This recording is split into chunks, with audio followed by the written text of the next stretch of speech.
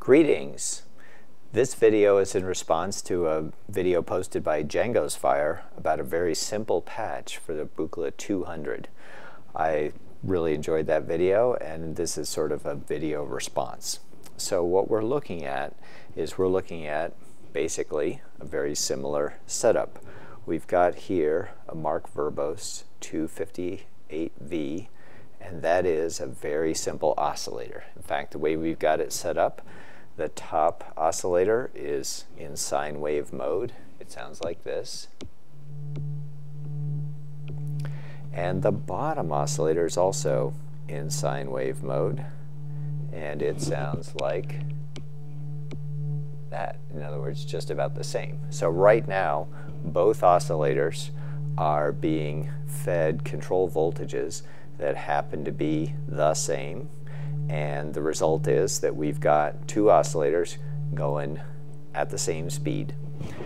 Now, what the Django's Fire video showed was that we could patch a pulse into a 292 and we could take the output, we could use that pulse to basically um, govern the FM modulation from the bottom to the top oscillator. So we're going to do that right now.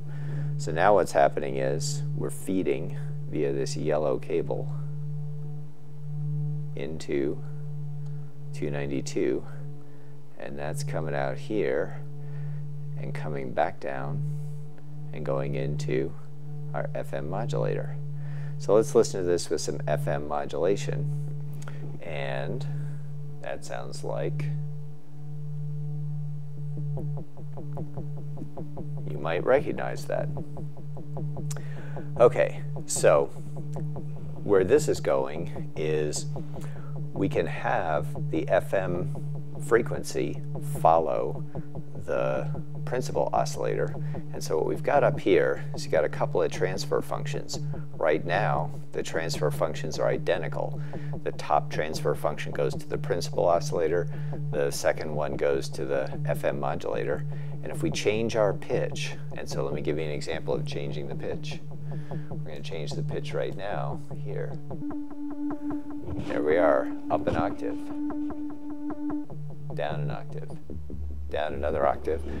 Notice the FM and the principal are following each other, and the result is that the wave really sounds like the same family because the FM modulation is at the same ratio as the principal oscillator. So it all sounds natural even when we go into deep, deep levels. It also sounds of a family when we go up to high ones. Now, you might wonder, how is it that I get those cool octave modulations all nicely quantized? And the answer is another Mark Verbos module.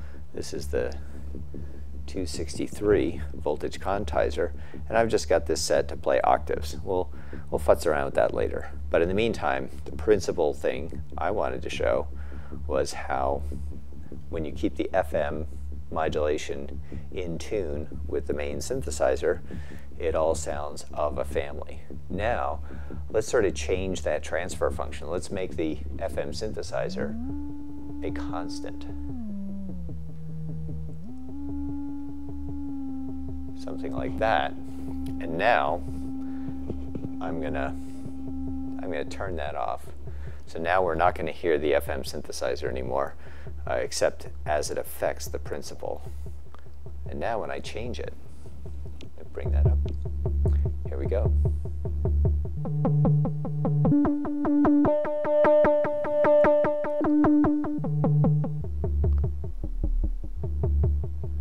Start getting some different sound.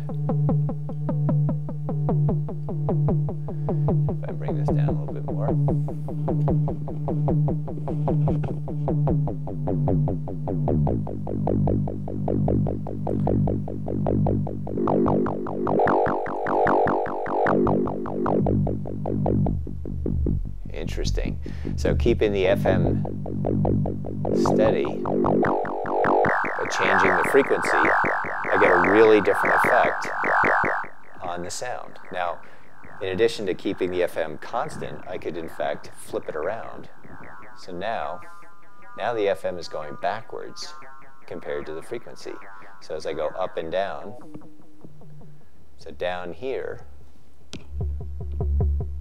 this is a very, this is a relatively higher FM frequency against a relatively lower principal. And then as I move up, they go backwards. So when I have a high frequency, I've got a low FM synthesis, totally different sound. Now I know what you're thinking. Octaves are fun, but let's let's throw some different sounds in there. And so first queued up, what we've got is um, I've got this handy dandy function selector. I'm going to listen to the input ultimately of a source of uncertainty right there. So there's my source of uncertainty, handing me some interesting notes.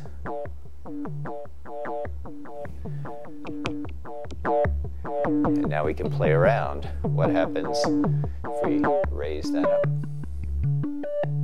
Raise that up. So now we've got just generally higher FM synthesis. Or here we've got a very gentle slope. Gentle lower. That's kind of cool. So you get the idea. We can sort of play with whether the FM follows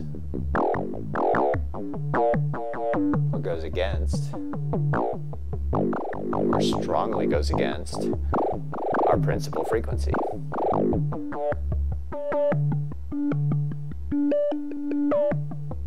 That's kind of cool.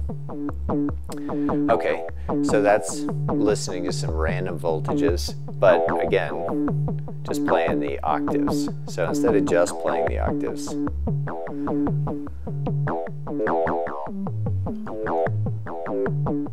little one, four, five.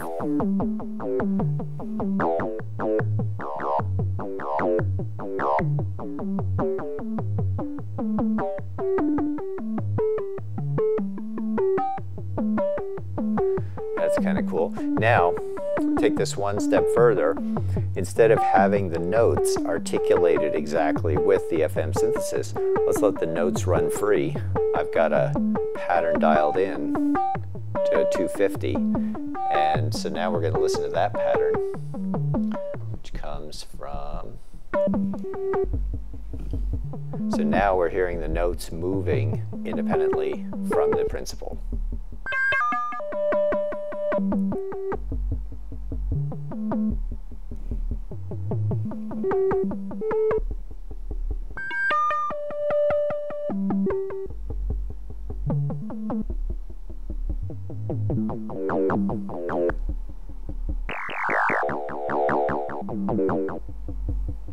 And then finally, one other little note pattern just for fun.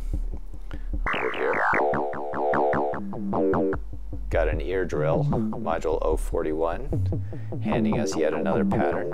So we'll plug it in right here. There it is. Now again, the notes are moving with the FM articulation, and we can play around.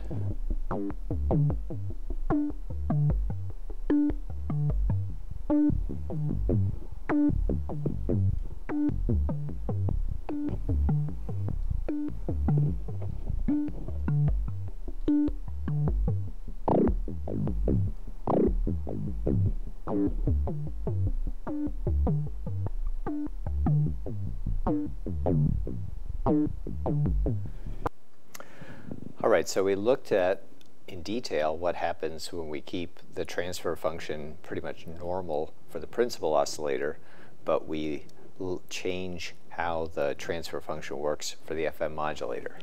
Now we're going to go the other way around. We're going to make the principal oscillator really boring. So let's flatten it out somewhere in the middle.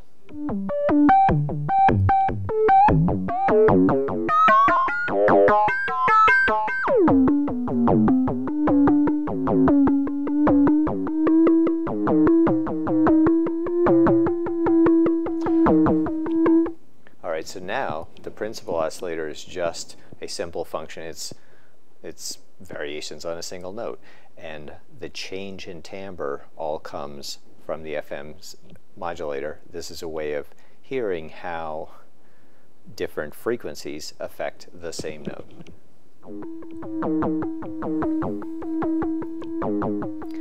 Now, of course, we can diminish the extremes in one direction, the other direction. We can flip it around.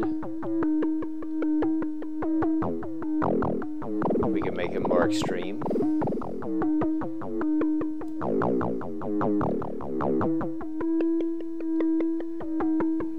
And we can listen to it at different uh, principal frequencies. So go down,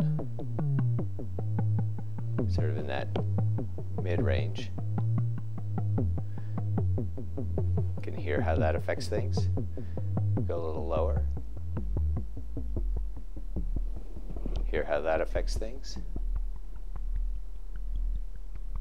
Might be a little low. There we go. So there's that.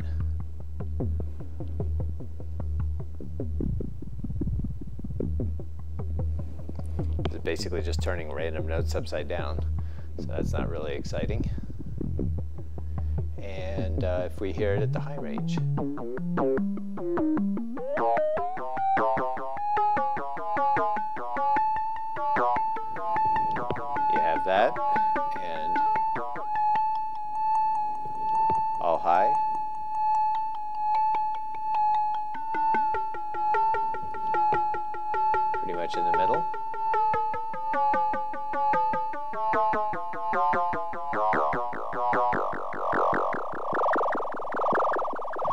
Much all low. Anyway, that's the other side of the coin. And there you have it. A little variation on a theme of FM modulation. Thanks for watching. Take care.